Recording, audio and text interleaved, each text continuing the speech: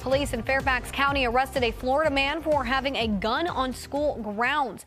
They say the man trespassed at Dolly Madison Preschool in McLean yesterday. When police searched his vehicle, they found two guns, including a K-447.